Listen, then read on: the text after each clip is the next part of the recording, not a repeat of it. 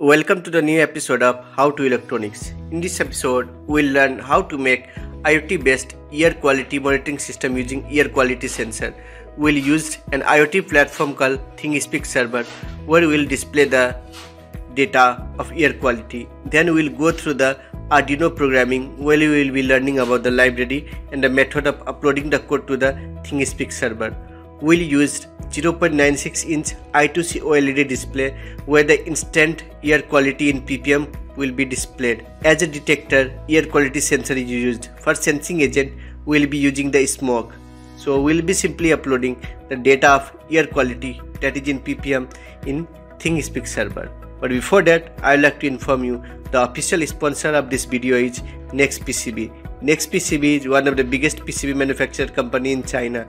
Currently, they are having the two different offer. The first offer is the 10% discount on all the assembly service. So for that, just collect the point and then go to the account. Here you can see there is a 10% discount code.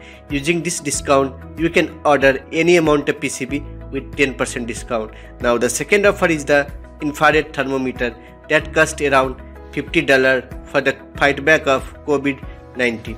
So here is the description of the NextPCB. They are the biggest PCB manufacturer company in China. They make all the different type of PCB boards with all the assembly services. So you can order the PCB service from the NextPCB website here.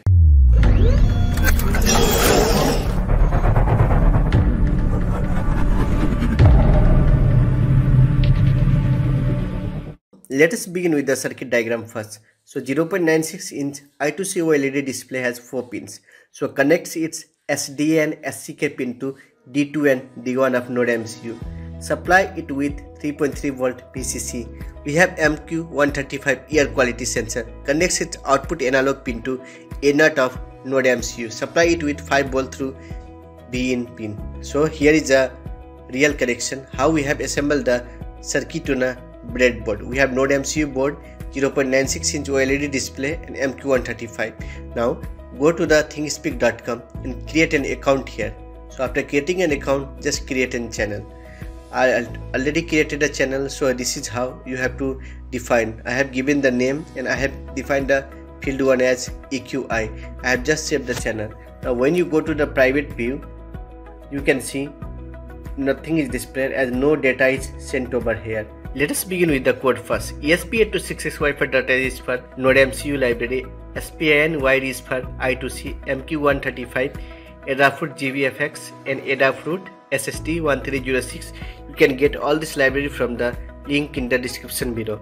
Similarly, we have assigned the OLED display width, height and a reset pin. From here, you can change the Wi-Fi SSID, password and API key as we are using API server at api.thingspeak.com. Okay, from here we'll have initialize the I2C OLED uh, serial begin function and uh, Wi-Fi begin so that all of the function will start working. So since the Wi-Fi is connected, the OLED display will display the status that Wi-Fi is connected or not. Under the loop function, we are just calculating the value of air quality index from the mq135.h library. So this data is displayed on serial monitor. Similarly the same data is displayed on OLED display and then using this post function we are sending the air quality index data over field 1 through to ThingSpeak. You can change the value of delay from here. That is, you can use the minimum delay of 15 seconds as data to the ThingSpeak is uploaded only after the interval of 15 seconds. So simply upload the code and open the serial monitor. Set the baud rate to 115200. So here the NodeMCU will start connecting to the Wi-Fi. So once connected to the Wi-Fi, it will display the air quality index and it will start sending it over the ThingSpeak server. You can simply see here how the data is sent over the ThingSpeak server. Now you can open the ThingSpeak and here you can see how the data is entered. Similarly on the I2C OLED display once it is connected to the computer it will start connecting to Wi-Fi. Once connected it will display Wi-Fi connected and then it will simply start displaying the air quality index in ppm. ppm means part per million the measure of air quality is in ppm value always. Okay?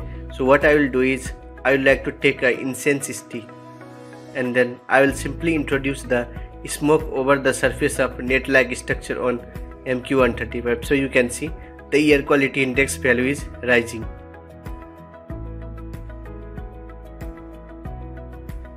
So simply go to the ThingSpeak web server and you can see data will be uploaded to the ThingSpeak website after the interval of 15 seconds. So the video I am showing you is 300 times faster that's why it is saying the fast speed.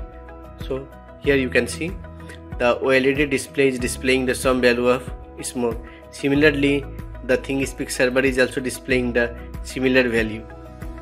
So you can use this project as a IoT project or simply you can also use this project as a non-IoT project that is you can simply show it see it on a OLED display.